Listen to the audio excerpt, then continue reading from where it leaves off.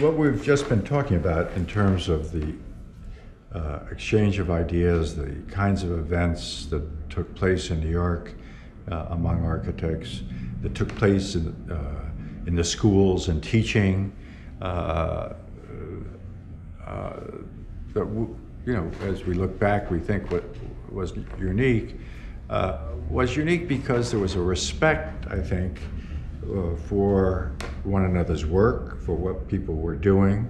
There was appreciation. There, w- there wasn't a sense of competition. Uh, it was really, uh, it was almost a support system rather than a. Yeah, a a- front. Yeah, uh, and uh, I think, you know, maybe uh, today, uh, since uh, the times are different, the situation is different, but there isn't the same communication, there isn't the same closeness, there isn't the same uh, kind of interchange. Not only among our generation, I don't see it uh, in the younger generations. Uh, uh, it doesn't exist there. Uh, the, there are a lot of good architects who have worked in this office and, in a sense, graduated and gone on in terms of their own practice.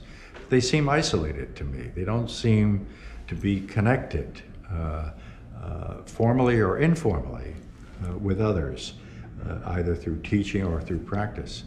Uh, and I think that's a shame because I think that's an enrichment that one gets from this experience, uh, which uh, I know we had together, uh, that I think these younger people are missing. Uh, Isn't this a byproduct of the media situation? it could be. I, I honestly don't know uh, whether it's the media. The, the media is trying to make you know, stars out of uh, any number of people, and it's sort of the media star of the week, as it were, uh, that we see. It could be the media's uh, attention uh, on architecture. The media didn't even write about architecture. Ada Louise Huxtable uh, didn't exist uh, writing about architecture in those days. She, she was perhaps pivotal uh, in terms of architectural criticism and the most brilliant and, pr- and prolific and uh, sensitive uh, uh, critic around.